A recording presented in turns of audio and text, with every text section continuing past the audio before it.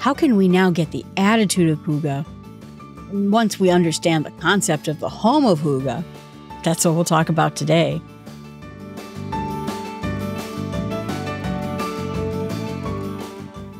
You cannot buy the right atmosphere or a sense of togetherness. You cannot Hygge if you're in a hurry or stressed out. And the art of creating intimacy cannot be bought by anything but time, interest, and engagement in the people around you. Meik Wiking, The Little Book of Hygge. I did a different podcast by a book of his, which I really enjoyed, about how to make memories and memories that stick and make our lives happier. That was episode 142 and 143 in the Starts with Small Steps podcast. So if you're interested in some of his writing, I think he's really interesting and I enjoyed his work quite a bit. Today we're going to continue our conversation about Holy Hygge, creating a place for people to gather and the gospel to grow by Jamie Erickson. So last week we talked about how we can create this quiet place a place for ourselves to get away and have quiet and reflection. Also, maybe a place where we could invite other people and have hospitality so other people can enjoy our home, listen to faith, maybe even be discipled by it. But this week, we're going to talk a little bit more about the attitude of Hygge and how we can do better to not just have it in our lives, but to share it with other people. She said that oftentimes Jesus went off to a solitary place and people would always follow him along. That is such a magnet for people. Like I said about the olive garden that he stole himself away to so he could get time to pray.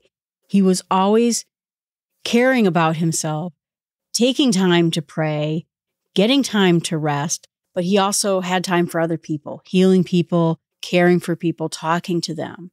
And so she thinks we can take that attitude on about being in God's word, you know, getting to know the word of God better. And it can help us because that's the idea is first of all, I think the Bible is our plumb line. It shows us a straight up and down of where we should go. But I think too, it's supposed to be a rescue to us, a help to us. It's a, it's a love letter from the creator. It's telling us how to live and the best ways to go and places where other people kind of screwed up and how we could learn from those lessons. And she hopes that the Word of God transforms us from the inside out, she says. And that we should limit the voices we hear. I think apart from just having a quiet house where we could get some peace of mind and we're not distracted by our phones and everything else all the time, maybe we also make a bigger try at shutting down voices that harm us. Or, you know, if the news upsets us, we don't watch the news on those days. It's not like by knowing the news, you can affect change in a direct way. When you see there's war or there's disease or there's suffering, we can pray for that. But that doesn't mean you have to drown yourself in news. So I think protecting yourself from events or maybe people who are harming you. She even gives kind of this interesting idea that we have to pick boundaries. And she said, if you're the kind of person who's being voluntold all the time, that it's time for you to remain silent. She says you have the right to remain silent and allow God to take charge of our lives. Because in the end, He has a plan for us, He has a purpose for us. And if we are sitting there and filling all our time with the plans of other people, are we living out the plan that God has for us? Or are we just doing someone else's idea of plans? So, taking charge of your lives and giving yourself that time to reflect will help you in so many ways.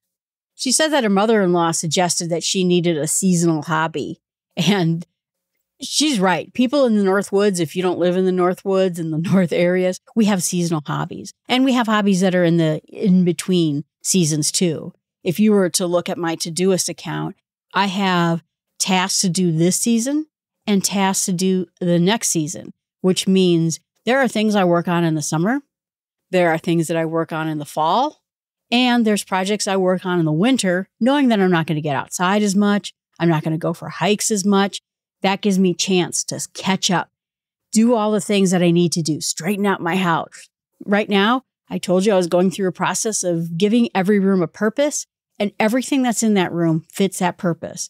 And then the rest, I put up shelves in my basement, and it's going in the basement which has the purpose of storing all the stuff.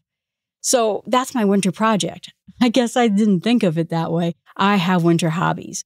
I have winter projects. Knitting, also a project I like to do in winter. So she said that that's a good suggestion that she got.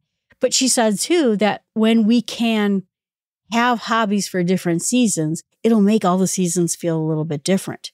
I don't tend to knit in the summer because it's kind of warm to be sitting under a big pile of wool yarn. I have other hobbies. I do other things. And she said that we can take those seasons and make them feel like something because we have different activities because of them. When you live up north, and if you live where she lives in Minnesota, you don't have a lot of choice. You can't have the same hobbies. But still doesn't mean that if you live other places, you can't have seasonal change based on your activity, the types of food and you enjoy. I mean, some things come in season when it comes to fruits and vegetables, and some things are out of season. So you can enjoy the seasons, make them special just by how you live your life in each season. I thought that was just such a wonderful way to look at it. She also says that we should give dignity to other people, kindness, that we should be the person who makes connections instead of fighting with each other, instead of blasting each other on social media and in person and hating each other. Can we instead bring people together and end this fighting with everybody? Instead of yelling at each other, can we bring each other together and give them hope, give ourselves hope, she says that before we start any battles on Facebook or Twitter, we should ask ourselves, quote, will this comment only serve to provide a point or will it help me build a relationship? Boy, how many people actually do that on any social media at all? Will my words bring honor to this person and the situation, showing that I care, or will they fuel or smolder embers of social derision? So, is it going to make us build and bring honor to each other? Or will it just break everything down? And I thought, wow, that's such a great standard. I loved it. And I love that she said it. So much bullying out there. And instead, we have to go away from that, which means that we're going to have to, she says, figure out what our banners are. If we had a flag that we were waving around, what would that flag say? Is it a flag of hate? Is it a flag of, gosh, pushing each other around, of being horrible to each other? Or is our flag one of love, one of activities that bring people up? Boy, you know, I think if that's the thing, if you could think that when you're walking around an activity, if you imagined what kind of flag you're walking around with and telling other people who you are, what would that be? Eh, maybe it would make us rethink how we walk around in this world if we thought our flag had love on it instead of our flag having vileness on it or violence on it or bad feelings. I think it can bring us into what she calls justice, love, mercy, and that we can walk humbly, which was Micah 6 8. She said, This is what we are required to do by God. She said that when God built his first home of Eden, he didn't make it overstimulating. He made it practical. He made it efficient. It all worked together. She said that God's goal in all of this was not just to be the bare minimum, but instead it was everything that we needed in terms of how we would act, in terms of the things that we would need, and that it had all the senses there the sights, the smells, the sound. I love that. The whole idea that this was the perfect home for us. And we're going to see that perfect home again. But that's what God's plan is for us this garden that He made for us. And so she said that he put everything in it, he didn't waste anything, and it was all for the good of all of us. And she said that the proper way to look at it is that a home will have the atmosphere of humility, an atmosphere of authenticity, of provision. We're going to give people what they need, and a place for growth. Those are the things that God presented to us. And so we can present that in our home and in our places where we invite other people. And that it's not just about the aesthetic of Hygge. It is about that concept of the heart of it, the, the holistic meaning of it. And she said that it isn't just about minimalism, but it is about less. Now, okay, my house, not sparse. I'm trying to get less stuff and I'm trying to do better with all the different things that are in the house, less things, less things in every corner. Not only because I think it's probably healthier for us to have less things, and I'm donating all the stuff to Goodwill and getting rid of it so that other people can use it. But I think when you have gaps in your home, that will give you a place to put the plant you got from your garden. That's going to give you a place to set your book down when you're done reading. And your eyes are just not berated by something every minute. I don't live in a sparse home and I have a lot of high tech gear. My little Hygge room, it's not sparse. She said that we would feel sparse when we were in a Danish home, but is to have that coziness that's there. I think we're going to have to figure out how we do it for our own ways and the atmosphere we want to have. But she does say that having more simple means, cleaner lines, she calls from and says that part of it's muted colors. I tend to like Northwoods colors the most, which are kind of muted, I guess. But I think in the end, people should feel whatever colors they want to have. I believe that the reason that these are supposed to be more neutral colors is the idea is that if you don't blast your senses out all the time with loud noises and loud colors and too much stuff going around, that you will have more bandwidth in your life to think about things and think about how you want to pray and how you want to plan your day. So it's a, it's, I think it's great. She mentions about how the garden too was, you know, simple and neutral and then simple colors. But you know what? Gardens are really bright and pretty and everything else too. So I don't know that that works. Gardens can be all sorts of things. So this atmosphere of Hygge is going to allow us to enjoy the insides more. And I think that part of it she brings up is the fact that people who live in northern climates like Minnesota or the Danes, they spend a lot of times in their homes because we get winter. We don't have places to go outside as much when we live in these climates. And so making these places special, you know, it's our base camp for the whole winter. We're not going to leave very often and we're not going to spend time outside. So seeing candles, seeing that comfy room that we have is just going to bring that instant feeling to us. She says overall, the homes have a sense of order and not disorder, not sloppiness. They tend to be very well organized. So, in some sense, when the people say that Hygge is about having a privileged life, maybe not, because maybe you have more ability to have the Hygge lifestyle when you didn't have the money to buy all the stuff. I know I lived more simply when I was poorer than I do right now. And so I think it's a perfect way that you can gather that, whether you're rich or poor, to have that simplicity. But she even talks about having bins of flowers or pine cones and just taking a simple walk can help us fill our rooms with things that give us peace. She says there's also an atmosphere of faith in our house. There's this concept of uh, Christian art. If we want to have Christian art that brings us love, it's not a way of being showy about our faith, but instead doing things that give us that peace. I have a plaque in my house that says, As for my household, we will serve the Lord.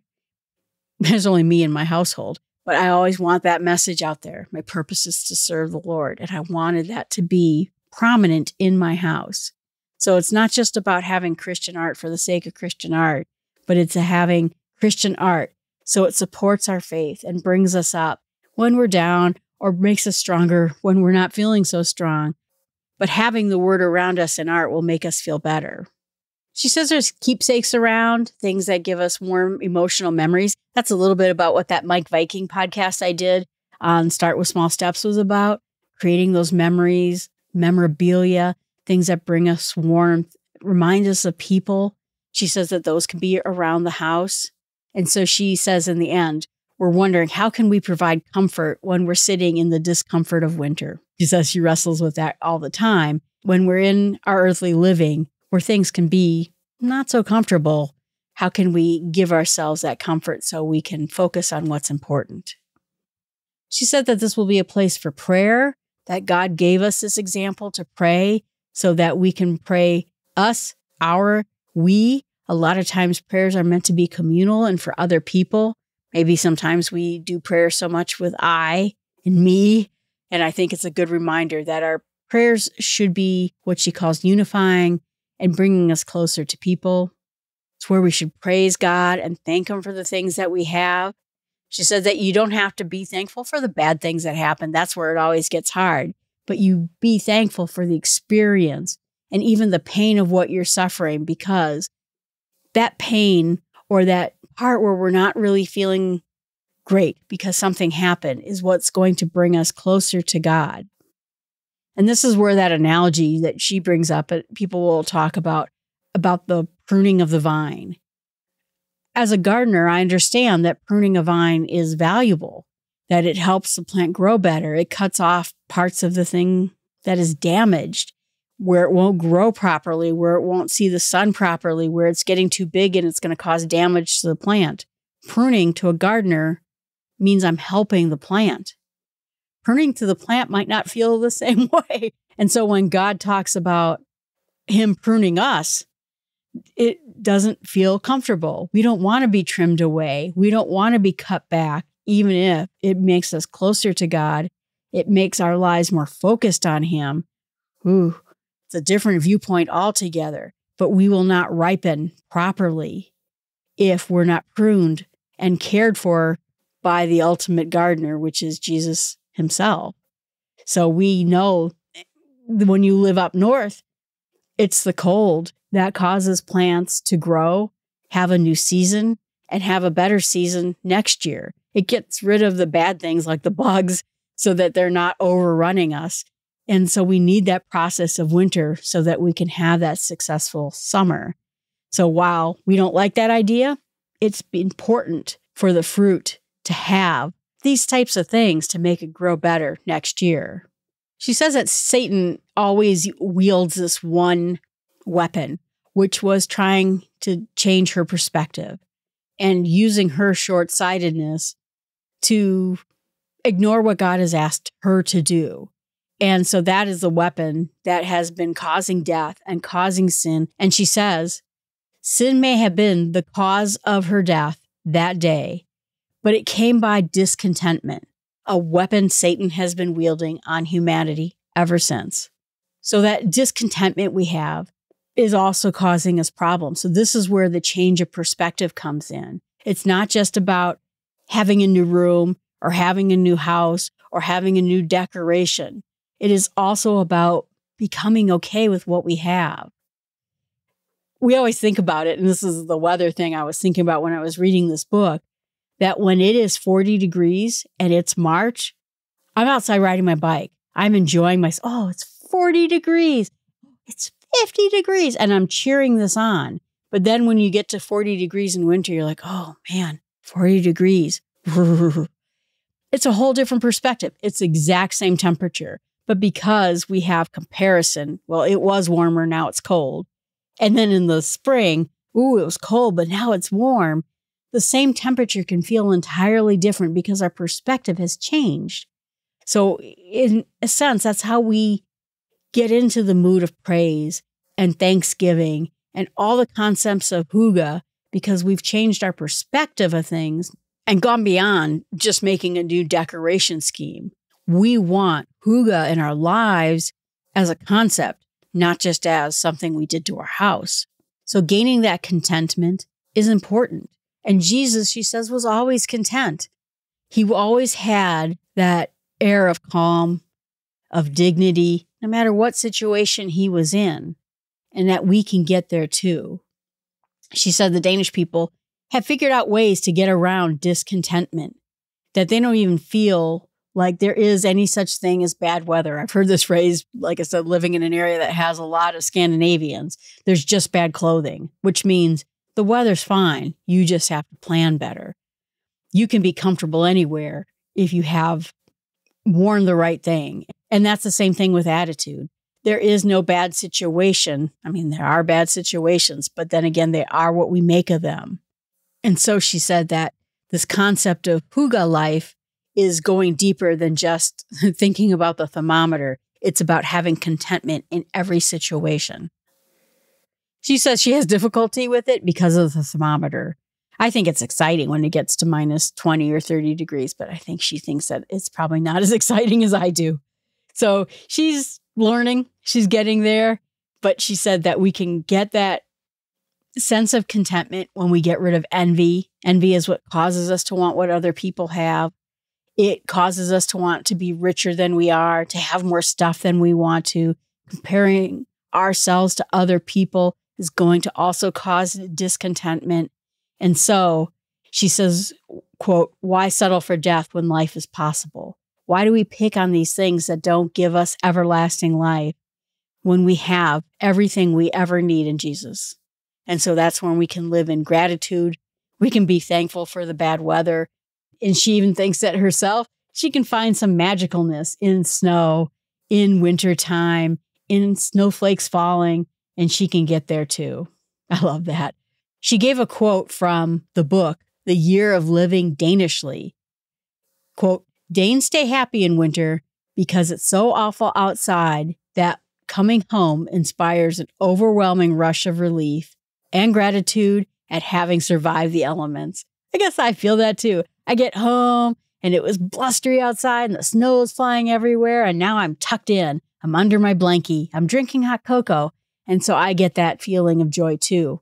When it's so nasty outside that you have, and this is where we are, very privileged to have a place to be warm. And again, this is where the concept of Sabbath comes in. She reminds us that Jesus practiced the Sabbath. And he would go against it when people needed help or people needed food, but he was still an obedient son. And Sabbath is something I think is having its day again, where people stop doing the Sabbath. Even when they were Jewish, I was Jewish and I did not like the Sabbath one bit because I did not want to not do something. I didn't want to slow down. But I think more and more we're finding how important that is. So we want to have that peace and quiet and warmth, but it's not about shutting other people out. It's about inviting other people in. If you're Jewish, when you have a Sabbath, you have a meal together. You, meals cooked before Sabbath so that you could enjoy the meal as Sabbath has sunset into the day. It's important that we can enjoy each other's company. And so Sabbath is not about locking ourselves in our home and not doing anything. It's about being with the people we love the most. And she said that maybe that's why the Hebrew day begins at sunset, because we know how important it is to rest at the beginning of what was the beginning of the day. So having that rest right away, first thing, is important. She says in the end that hurry has become the tool of the enemy because it makes us feel like how hard we work, how much we work, you know, I worked 5,000 hours last week. We boast about it, is considered to be a badge of honor, and it shouldn't be. There is more to our lives than work. There's more to our lives than being busy. We have been given a purpose by God. We have to live our life with that purpose. And so, in having some healthy balance that allows some downtime, time to take care of ourselves, time to take care of other people, and times to bring people together is what we're looking to do. She said that the Danes don't look at this as being privilege. They see it as not a careless use of time, she says, but instead it's supposed to be a rest, a Sabbath that the whole world really needs. So I liked that whole concept. At the end of the book, she gives some really great ideas about ways that you can also do hygge throughout your entire life by creating a neighborhood or a place to be, making what she calls blessing bags for other people. Just such a nice concept. And I loved the idea of it just as we're in our November, where we're in the time, it's getting cold and the time to be outside is coming to an end for a little bit. And so now comes the winter hobbies and our time to be inside. It's always been my goal, and I'm starting to get there. And having my friend over to my house today is a step in the right direction. Someday I want to be the place where college students, I go to a college church, could come and study at my house, have a Bible study. I could make a meal for them, something like that. I wanted my house to be a place where people would come. And I think that I'm starting to get there.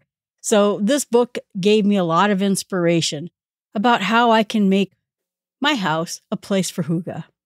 So my challenge to you is try to think of what kind of banner are you carrying or what kind of banner is your house carrying? Is it a lifestyle richness of welcomeness, of isolation, or get off my lawn? Or is it a place of warmth, welcoming, and community? Think about that a little bit about what kind of banners would be flying outside of you and flying outside of your house. See what you might want them to be instead of what they are. Everyone, thanks so much. Have a wonderful week. I hope you enjoy oh, the autumn coming to a close and as we're getting ready for winter. And please remember to subscribe to the podcast. Let me know if there's anything I can pray for you. And my email address is jill at smallstepswithgod.com. Please keep me in your prayers, and I'm keeping you in my prayers. And just remember, offering an open door to community with other people starts with small steps.